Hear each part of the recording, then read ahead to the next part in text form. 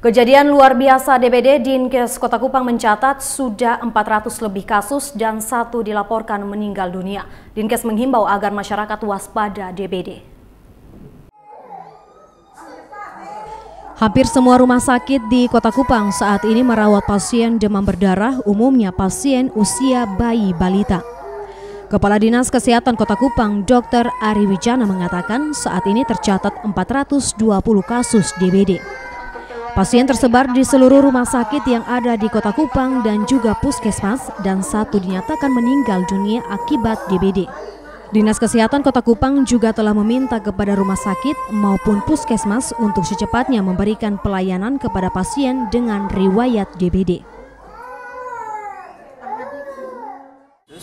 Ya, tapi secara harian dia sudah menurun ya. Kembali lagi saya jelaskan, pada saat kita penetapan KLB per hari itu rata-rata 27 tertinggi, 21 terendah.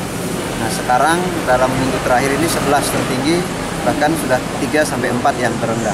Jadi secara kasus harian sudah menurun. Lagi saya sudah sampaikan kepada seluruh masyarakat bahwa kita sudah buka posko 24 jam untuk menangkap yang tersangka-tersangka DBD.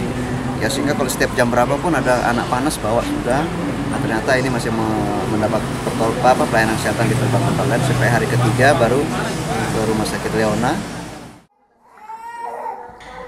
Dinas Kesehatan Kota Kupang juga menghimbau agar orang tua sesegera membawa anaknya ke rumah sakit maupun puskesmas jika sakit, serta menjaga kebersihan lingkungan tempat tinggal agar terhindar dari DBD.